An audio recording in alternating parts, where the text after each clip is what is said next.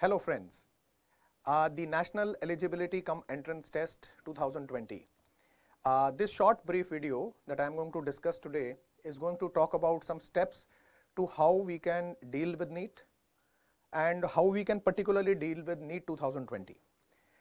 ये वीडियो उन सब बच्चों के काम आएगा जो अब नीट देने वाले हैं ऐसे बच्चों के लिए भी काम आएगा जिन्होंने अभी नीट देना है कुछ ऐसी ब्रीफ आउटलाइन मैं आपको नीट के बारे में दूँगा और फिर हम लोग अपना मेजर फोकस इस तरफ़ डाल देंगे कि नीट 2020 के लिए करना क्या चाहिए।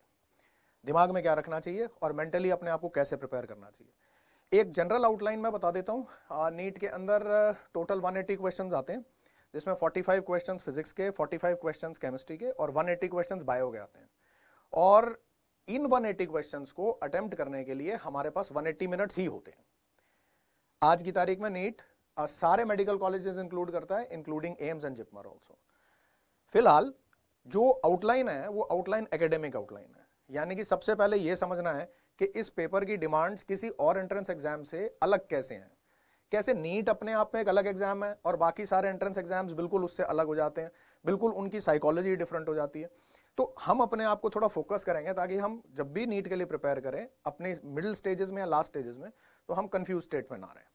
जो हम लोग बात कर रहे हैं, उस चीज़ को बिल्कुल पिन पॉइंट फोकस रखेंगे और डेफिनेटली हर जो प्रॉब्लम हम फेस करते हैं उसमें उसका एक प्लॉजिबल डेफिनेट सोल्यूशन भी होता है। 180 सवाल और 180 minute now this is more like a race against time समय कम है और काम ज़्यादा है। इन्हीं 180 क्वेश्चंस के अंदर फिजिक्स और केमिस्ट्री के न्यूमेरिकल्स भी आते हैं। इन्हीं 180 क्वेश्चंस में आसान सवाल भी आते हैं जो थियोरेटिकल होते हैं, जिनका आंसर हमें देख के पता होता है। और ऐसे सवाल भी आते हैं जो बाउंसर की तरह हमारे ऊपर से निकल जाते हैं। कहने का मतलब ये है, ये पूरी आउटलाइन इस चीज़ की है कि 180 सवालों को 180 मिनट में कैसे पूरा किया जाए? नीट यहाँ पर बाकी एंट्रेंस एग्ज़ाम से अलग है। जब हम इसकी प्रिपरेशन करते हैं तो सबसे पहले हमारे पास दिमाग के अंदर ये होना चाहिए कि हम 180 क्वेश्चंस को 180 मिनट्स में कैसे करेंगे। सो so, अपने दिमाग में सबसे पहले रखो क्योंकि डॉक्टर बनना चाहते हो? दिमाग के अंदर ये होगा कि हम डॉक्टर बनना चाहते हैं। You don't get a second chance एक क्वेश्चन अगर आपने नीट में गलत आंसर किया तो उसके लिए तुम्हें माइनस वन मिलेगा। और माइनस वन इकट्ठे करते करते रैंक इतनी नीचे गिर जाएगी कि वो अल्टीमेटली मेरिट के बाहर पहुँच जाती सो द फ़र्स्ट फिनोमिनन जिस पे नीट क्लियर करने की हम सोच भी सकते हैं that is the do it right first time principle सबसे पहले follow the phenomenon of drift सबसे पहले अपने दिमाग को, अपने प्रेजेंस ऑफ़ माइंड को इतना शार्प करो कि जो आंसर मार्क करो, उस आंसर के साथ स्टैंड बाय करो। और ये कंफ्यूज स्टेट में नहीं होना चाहिए, ये तुक्के मार के नहीं होना चाहिए और ये ईगो पे लेके नहीं होना चाहिए कि मुझे सारे क्वेश्चन आंसर करने हैं। कहीं ना कहीं हमें अपनी स्पीड बढ़ानी है maximum number of question try करने हैं in the least possible time try करने हैं मैक्सिमम अप्रोक्सीमेशन करके स्मार्ट वर्क करके करने एंड लीस्ट सिली मिस्टेक्स करके करनी है। बेवकूफियाँ नहीं करनी पेपर के अंदर, वरना एक एक बेवकूफ़ी के लिए हमें माइनस वन का नेगेटिव मार्क मिलेगा। 180 questions in 180 minutes is about how you hone your skills to deal with your exam तो जब हम लोग पढ़ते हैं उसके लिए, जब नीट के लिए तैयारी करते हैं तो हमारे दिमाग के अंदर ये होना चाहिए I have to be fast I have to be swift मुझे टाइम के साथ रेस करना है और रेस करने के साथ साथ ही मुझे सिली मिस्टेक्स नहीं करना है, मुझे बेवकूफियाँ नहीं करनी है, क्योंकि मुझे इस एग्ज़ाम के अंदर एक सेकंड चांस नहीं मिल रहा है। एक बार मैंने ओएमआर शीट पे मार्क मार दिया तो मेरा काम खत्म हो गया, वो मार्क पेन से लगता है तो वो मिटाया भी नहीं जाता। तो मार्क अगर गलत लग गया तो one once and for all आपको माइनस वन मिल गया उसके लिए। तो you have to be very calculative you have to be very smart and you should have a proper presence of mind how you are going to deal with these questions 180 questions in just about 180 minutes. Uh, you know so follow the phenomenon of drift and uh, now think कि हमें ये नुकसान कैसे होगा। It is the negative marks that will take you down so सबसे पहले जब हम नीट देते हैं तो हमारे को अपने दिमाग में रखना पड़ेगा कि जो क्वेश्चन हमने किया उसके लिए हमारे पास एक प्रेजेंस ऑफ़ माइंड थी एक फाइन जजमेंट थी मुझे ये बात समझ में आनी चाहिए कि मैं कौन से क्वेश्चन को अटेम्प्ट नहीं करने वाला हूँ कहीं ना कहीं नीट के अंदर कोई क्वेश्चन को छोड़ देना और उसको अटेम्प्ट ना करना भी अकलमंदी मानी जाती है you don't think that if you have 45 questions in a section then you are attempting all the 45 questions it's possible you know unless your preparation is a, a bit too expert you know you can attempt all 45 of them but sometimes बीच में को bouncer questions आते हैं, जिन questions को देख के ही हमें पता होता है कि हमारी साइकोलॉजी उन क्वेश्चंस को लेके पॉजिटिव नहीं है। It is always best to leave those questions we have to be swift and fast in our fine judgement कि मैं कौन सा सवाल छोड़ने वाला हूँ और कौन से सवाल को अटेम्प्ट करने वाला हूँ। ये सब कुछ अगर आप पैनिक स्ट्रिकन स्टेट में करेंगे तो जो सवाल आता होगा, उसमें भी माइनस वन ही मिलेगा। उसमें भी आंसर ठीक नहीं आएगा। तो हमें अपने आप को मेंटली काम रखना है, दिमाग को शांत रखना है कि नेगेटिव मार्क्स से बचने का तरीका क्या होता है। कि मेरा दिमाग शांत है, लेकिन मैं फिर भी फास्ट काम कर रहा हूँ। मैं टाइम के साथ रेस कर रहा हूँ, लेकिन मेरे दिमाग के अंदर एक सेंस ऑफ़ पीस है, एक सेंस ऑफ़ काम है, जो नीट एग्ज़ाम में पहले कम से कम शुरू के आधे घंटे या 20 मिनट में तो नहीं आएगा, क्योंकि शुरू की एग्ज़ाम की स्टार्ट बहुत एंग्जाइटी के साथ होती है, एक पैनिक के साथ होती है एंड हमारे आसपास बहुत सारे लोग होते हैं पेपर देने के लिए। तो वो एक नेचुरल चीज़ है, एक नेचुरल फिनोमिन है। If you are human then you will be anxious at that time but that anxiety should disappear in about 15 20 minutes time and उसके बाद एक सेंस ऑफ़ पीस और एक सेंस ऑफ़ काम आपको इस बात को लेकर के एक जफाइन जजमेंट दे, देगा कि मैं इस सवाल को करने वाला हूँ या मैं इस सवाल को छोड़ने वाला हूँ। तो हमारे पास कैटेगोरिकली दो इस टाइप के सवाल होने चाहिए पेपर में। एक जो मैं करूँगा और जो सही है, और एक जो मैं छोड़ दूँगा। अगर हमने वो सवाल किए जिनके ऊपर मैंने रैंडम गैस मार दी कि इसका आंसर यही होगा या मुझे यही लग रहा है, और बाद में वो माइनस वन हुआ तो एक नेगेटिव मार्क आपकी रैंक को हंड्रेड्स के हिसाब से नीचे उतार देगा। और तीन, चार, पाँच, छह नेगेटिव इकट्ठे कर दिए एक ही सेक्शन के अंदर तो कई बार हमारा स्कोर जो है वो बिल्कुल मेरिट के बाहर ही निकल जाता है सिलेक्शन नाम की कोई चीज़ नहीं होती। ये बात समझ लो, कई बार हम लोगों को बहुत ज़्यादा नहीं भी आता होता। Knowing less is not the problem in NEET NEET के लिए बहुत ज़्यादा रिसर्च की ज़रूरत नहीं है नीट के लिए बहुत ज़्यादा इनडेप्थ जाने की ज़रूरत नहीं है। नोइंग इनकरेक्ट फैक्ट्स फैक्ट्स जब हम लोग सीखते हैं, जब हम लोग पढ़ते हैं तो हम लोग कॉन्सेप्ट को मिस इंटरप्रेट कर लेते हैं। और मिस इंटरप्रिटेशन का रिज़ल्ट ये होता है कि हम पेपर में जिस क्वेश्चन को श्योरिटी से मार्क कर रहे हैं, उसका आंसर भी गलत आ रहा है। तो जब क्लास में पढ़ते हो, जब बुक से पढ़ते हो, जब किसी स्टडी पैकेज से स्टडी मटेरियल से पढ़ते हो यू हैव टू एंश्योर कि जो पढ़ रहे हो, वो टीचर की गाइडेंस में पढ़ रहे हो, जो पढ़ रहे हो, वो वेरीफाइड है, वो ठीक है, और आप उनके सानिध्य में रह करके पढ़ेंगे, आपके कॉन्सेप्ट गलत नहीं होने चाहिए। अगर कॉन्सेप्ट ठीक है तो बहुत डीप नहीं भी हो, अगर कॉन्सेप्ट थोड़ा सुपरफिशियल भी है नॉर्मली एक क्वेश्चन का आंसर गलत नहीं आएगा। तो you have to be fast yet calm तो मैं अब ऐसे कैसे कर सकता हूँ? मुझे स्पीड भी चाहिए और मैं काम भी होऊँगा। ऐसे जब मैं तो स्पीड एक्वायर करूँगा तो फिर तो मेरा काम चला जाएगा। फिर तो मैं बहुत एंशियस हो जाऊँगा। The key to it is a practice buildup आप प्रैक्टिस करें और प्रैक्टिस का मतलब लिटरली रेपिटेशन होती है। बार बार किसी चीज़ को बोलने से वो चीज़ हमारे अंदर इम्बाइब होती है। कुछ बच्चे ऐसे सोचते हैं बार बार बोलने का क्या पॉइंट है? मैं तो बोर हो जाता हूँ बार बार बोलते बोलते ये बात याद रखोगे, अभी अगर बार बार बोला है तो वो भी चीज़ भूलेगी। अभी नहीं भूलेगी तो हफ़्ते के बाद भूलेगी, हफ़्ते के बाद नहीं तो दस दिन के बाद भूलेगी या पंद्रह दिन के बाद भूलेगी। तो हमें उसके बाद अपनी रिवीजन भी स्टैंड बाय पर रखनी होती है। ऐसा नहीं है कि अगर मैं रिपीटिशन कर रहा हूँ या मैं एक ही टाइप के क्वेश्चन बार बार बार बार कर रहा हूँ तो उससे मुझे नुकसान हो रहा है। करनी वैरायटी चाहिए, लेकिन अगर आप सिमिलर टाइप का क्वेश्चन भी रिपीट कर रहे हो तो वो भी आपको नुकसान नहीं करेगा। फास्ट होने के साथ साथ एक काम स्टेट ऑफ़ माइंड मेंटेन करना, ये दोनों चीज़ें साथ में सिर्फ़ तभी आती हैं जब आपकी एम्पल अमाउंट ऑफ़ प्रैक्टिस होती है। याद रखो प्रैक्टिस करने का मतलब ये होता है कि आप किसी चीज़ की रेपिटेशन कर रहे हो उसे बार बार बोल रहे हो यू you नो know, उसे बार बार रिवाइज कर रहे हो। थोड़े टाइम के बाद वो प्रैक्टिस क्रिस्टलाइज हो जाएगी आपके दिमाग के अंदर वो चीज़ बैठ जाएगी और उसके बाद आप उसे एसिमुलेट कर लोगे उसे इम्बाइब कर लोगे। यूजुअली एक टाइम पर सिर्फ़ कोई चीज़ बार बार बोलने से कोई फ़र्क नहीं पड़ता। दस दिन के बाद उसको भूल जाओगे पंद्रह दिन बाद भूल जाओगे। कॉन्कुरेंट रिविजन जो है वो अपनी प्रॉपरली डालते रहनी चाहिए जो नीट के लिए बहुत ज़रूरी होती हैं। और सबसे इंपॉर्टेंट है जो कंटेंट जिसके ऊपर तुम क्वेश्चंस कर रहे हो चाहे वो थियोरेटिकल कंटेंट हो बायो का या फिर फिजिक्स केमिस्ट्री के कोई न्यूमेरिकल चैप्टर्स हो you have to spend time जल्दी किस बात की है? वॉट इज़ द हरी जब आप घर पे बैठ के पढ़ाई कर रहे हो, जब आप घर पे बैठ के उस चीज़ को इम्बाइब करने की कोशिश कर रहे हो तो उस पर समय बिताना है ना? उस पर उसके साथ बैठना है। उसको, उस, उससे नफरत नहीं करनी है, उसे प्यार करना है, उसके साथ बैठना है, उसके साथ कोजी होकर के आराम से उसको पढ़ना है, और उसके बाद अपने टीचर से उसको लेकर के डाउट्स पूछ लेना है, या उसको क्लैरिफाई करना है। पर इतना याद रखना कॉन्सेप्ट गलत नहीं होना चाहिए। जो पढ़ रहे हो, उसकी अंडरस्टैंडिंग ठीक होनी चाहिए। कभी कभी बुक में कुछ लिखा होता है, मैं उसको कुछ समझता हूँ, लेकिन एक्चुअली जो समझ रहा हूँ वो ठीक नहीं है। तो ये चीज़ भी वेरीफाई होनी चाहिए कि अगर मैं कोई चीज़ अपने लेवल पर पढ़ रहा हूँ तो मैं उसे ठीक समझ रहा हूँ, वरना ये नेगेटिव मार्क्स का कारण बनता है। Good concept which are pure चाहे वो बहुत डीप नहीं भी हो, तब भी हमको नीट के अंदर उसकी प्रॉब्लम कभी क्रिएट नहीं करेंगे। वो हमेशा नीट के क्वेश्चन जो होते हैं, चाहे वो एनसीआरटी बेस्ड क्वेश्चन हो, चाहे वो एनसीआरटी के बाहर का कोई क्वेश्चन हो आप जब भी नीट को अटेम्प्ट करेंगे, उस पेपर को अटेम्प्ट करेंगे, इस तरह के क्वेश्चंस जो सुपरफिशियल क्वेश्चंस होते हैं, वो ज़्यादातर बहुत ज़्यादा डेप्थ के क्वेश्चंस नहीं भी होते। उन क्वेश्चंस में अगर आपका कॉन्सेप्ट ठीक है, उसमें एम्पल अमाउंट ऑफ़ प्रैक्टिस है, दिमाग तुम्हारा काम है प्रैक्टिस तुम्हारी अच्छी है रिवीजन तुमने प्रॉपरली किया है कंटेंट के ऊपर तुमने प्रॉपरली टाइम दिया है, बैठे हो, भागे नहीं हो, और जब भी कोई चीज़ करने की टाइम आए या चैप्टर पढ़ने का टाइम आए तो ऐसा नहीं होता कि उसको फटाफट खत्म कर लूँ। जब कंटेंट को अपने आप को बिल्डअप कर रहे हो जिसको प्रैक्टिस बिल्डअप बोलते हैं तो उस टाइम पर आपको अपने कंटेंट के साथ टाइम स्पेंड करना पड़ेगा। आप उस कंटेंट के ऊपर भाग नहीं सकते। सो so, जब आप नीट की प्रिपरेशन करोगे तो आपको दसों चीज़ दिमाग के अंदर रखनी पड़ेंगी कि मेरा ब्रेन बहुत ज़्यादा क्लटर्ड ना हो। मेरे दिमाग के अंदर बहुत उल्टे सीधे ख्याल ना आ रहे हो। ऐसे में भी पढ़ाई नहीं होगी। दिमाग को हमें शांत तो रखना ही है। Take good sleep drink lot of water ये तो नॉर्मल कंडीशन होती हैं जो हम नीट के लिए पढ़ते हैं तो ये सब चीज़ तो हमें ध्यान में रखनी ही होती हैं। तो spend time with the practice your proper revision practice करो रेपिटेशन करो and practice is ultimately the key to success practice is the key to success it is possible कि नीट के लिए जब आप प्रिपेयर प्रिपेयर कर रहे हो प्रैक्टिस के साथ साथ it is possible to score more even when you know less मान लो एक मिनट के लिए कि मैंने कोई चैप्टर पढ़ा या मैंने उसका एक कंटेंट देखा तो मैंने उस चैप्टर को पढ़ने की कोशिश करी।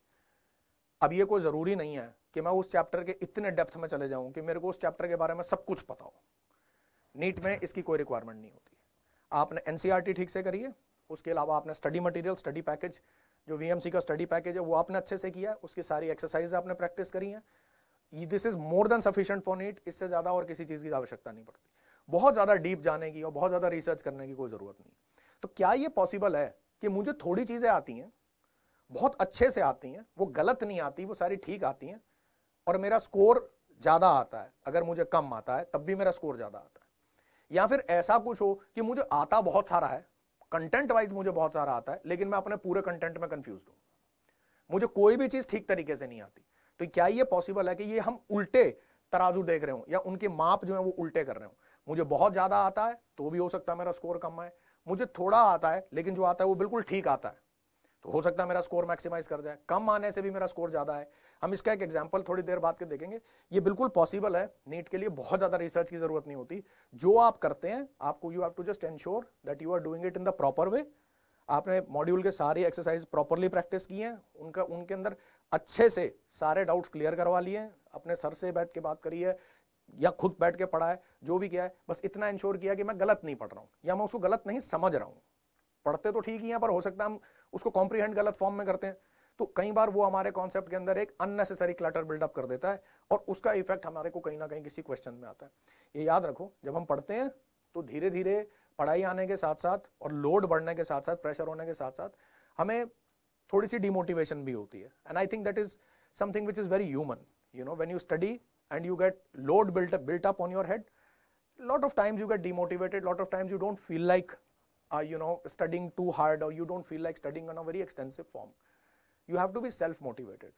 Remember one thing that if your mind is disturbed, it will generate only clutter. अगर तुम्हारे दिमाग के अंदर अशांति है तो उसके अंदर प्रॉपर कंटेंट कभी बैठेगा नहीं कंटेंट आएगा और जाएगा आप असिमुलेट करोगे वो ड्रेन आउट हो जाएगा जो कुछ पढ़ोगे वो सब बाहर निकल जाएगा जो टाइम अपनी पढ़ाई में इन्वेस्ट भी कर रहे हो उस टाइम का कोई एडिक्वेट एडवांटेज नहीं होगा उसका इन द लॉन्ग रन कोई एडवांटेज नहीं होगा। पॉइंट क्या है? उस पूरे टाइम को डालने का। अगर मेरे को उसका फ़ायदा नहीं हो रहा तो। तो you have to look at yourself don't look at others कई बार दूसरों को देख करके मुझे लगता है, वो तो बहुत पढ़ता है, मैं तो उतना नहीं पढ़ पाता।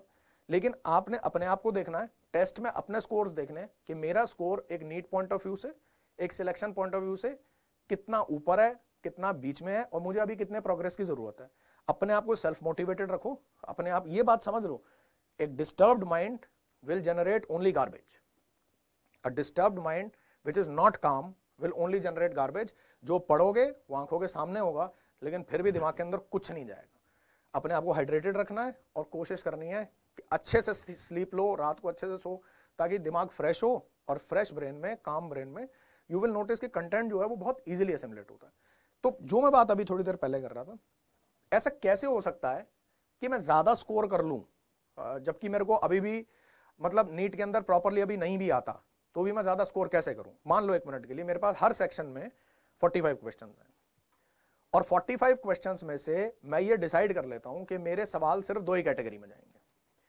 या तो मैं सवाल ठीक करूँगा, या फिर मैं सवाल को छोड़ दूँगा। और मैं ये इंश्योर करूँगा कि जो भी क्वेश्चन मैं कर रहा हूँ, वो गलत नहीं हो रहा। तो ज़रूरी बात है, जैसे मैंने बोला कि मेरे को ज़्यादा आता ही नहीं है। मुझे थोड़ा आता है। मैंने बहुत ज़्यादा रिसर्च नहीं मारी है और मेरे को बहुत ज़्यादा डेप्थ में जाने की ज़रूरत नहीं मुझे लिमिटेड आता है। लेकिन क्या लिमिटेड आने पर मैं नीट में सिलेक्शन पा सकता हूँ? पॉसिबल है। सपोजिंग एक सेक्शन में तुम्हारे पास 45 क्वेश्चन हैं और मैं ये डिसाइड कर लेता हूँ कि 45 में से 10 सवाल मैं छोड़ दूँगा। बिल्कुल ब्लाइंडली छोड़ दूँगा। मैं 10 क्वेश्चंस को हाथ नहीं लगाऊँगा। ये 10 क्वेश्चंस आपकी अपनी चॉइस के हैं। उस सेक्शन में से जोन सा आपको ठीक लगे, आप 10 सवाल छोड़ सकते हो।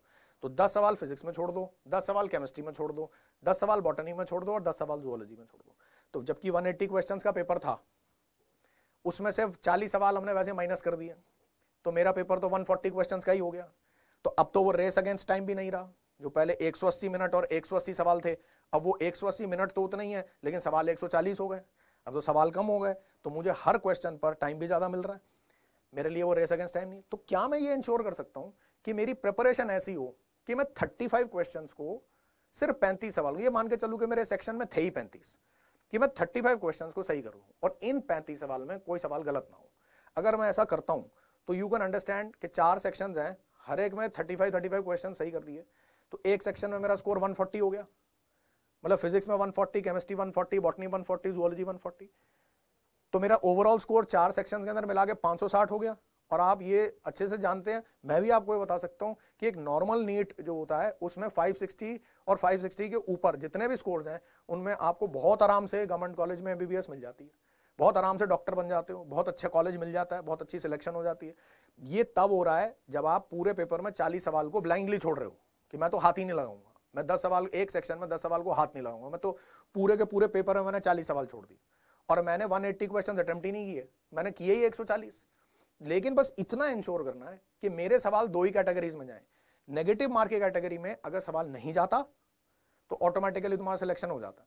ज़्यादातर सिलेक्शन जो नहीं हो पाते, उन बच्चों के भी नहीं हो पाते, जिनको काफ़ी अच्छी नॉलेज है, वो सिर्फ़ इसलिए नहीं हो पाते क्योंकि वो बहुत ओवर एस्टिमेट करके पेपर में हर सवाल का आंसर मार्क करने की कोशिश करते हैं। कंफ्यूज भी होते हैं किसी क्वेश्चन को लेकर तो उसका आंसर भी मार्क करने की कोशिश करते हैं, जिसमें डाउट होता है कि नहीं, शायद आंसर ये होगा या ये होगा। उसमें भी तुक्का मार के किसी एक का आंसर मार्क करने की कोशिश एंड अल्टीमेटली उसका रिज़ल्ट क्या होता है? नेगेटिव का अंबार होता है पूरा। नेगेटिव का अंबार होता है और जो अच्छा खासा स्कोर बन रहा था, वो सारा स्कोर नीचे चले जाता what we have to ensure is कि कम अटेम्प्ट करूँगा तो भी मेरा स्कोर मैक्सिमाइज होगा। कई बार ज़्यादा अटेम्प्ट करने से भी मेरा स्कोर 560 से भी कम आएगा। So you are actually studying towards और working towards only 35 questions in the section, maybe not 45 and lot of, you know, students will also say and they will agree कि बायो में हम 35 से ज़्यादा कर सकते हैं। बायो के अंदर 35 क्वेश्चन 45 में हम 40 तक तो आराम से सही कर सकते हैं। बायो थियोरिटिकल होता है, बिल्कुल मदर सब्जेक्ट है, आप चाहें तो 45 में से 40 तक ठीक कर देंगे। तो आपका स्कोर तो इजीली 600 के नज़दीक पहुँच जाएगा। ये बहुत आसान है, बहुत ईजी होता है यू नो नीट को मैनिपुलेट करना। The only thing that we have to think we have to practice is how you can develop the right aptitude to give the NEET exam दिमाग के अंदर ये सोचना है कि हम कैसे करें। इट इज़ ऑल अबाउट जो मैंने अभी तक बात की है नीट टू ट्वेंटी ट्वेंटी को लेकर बात कर रहा हूँ it is all about managing yourself first दिमाग को शांत रखो, नींद अच्छी लो, पानी अच्छे से पियो सेल्फ मैनेजमेंट बोलते हैं जिसे, कि अपने आप को सबसे पहले मैनेज करो। ये बात समझ लो कि अगर तुम डिस्टर्ब हो, दिमाग से डिस्टर्ब हो तो तुम नीट के लिए नहीं पढ़ पाओगे। उसके बाद जो टाइम तुम्हारे पास है, उस टाइम को मैनेज करो। खास करके इसलिए क्योंकि नीट खुद एक टाइम बेस्ड पेपर है। सारी कहानी यहाँ पर रेस अगेंस्ट टाइम की है, कि मैं टाइम के साथ कैसे अपने आप को मैच करूँगा, मैं कैसे सही और गलत सवाल की जजमेंट करूँगा कि कौन सा सवाल सही है, कौन सा सवाल गलत है। The management part is firstly managing yourself and then managing the time that you have अगर ये दो चीज़ें मैनेज कर लेते हो अराउंड 80 परसेंट आप नीट क्लियर करने में बहुत मतलब सक्षम हो जाओगे कि हाँ मेरे तो नीट आराम से क्लियर हो रहा है और मेरे टेस्ट के अंदर स्कोर्स भी अच्छे आ रहे हैं।